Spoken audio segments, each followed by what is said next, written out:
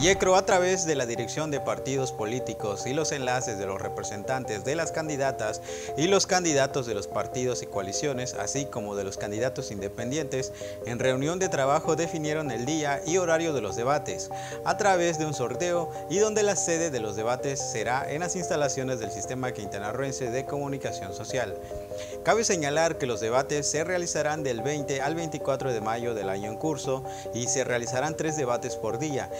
Iniciarán los candidatos del Distrito 7 el lunes 20 de mayo a las 17 horas y finalizarán los del Distrito 12 el viernes 24 de mayo a las 10 de la noche.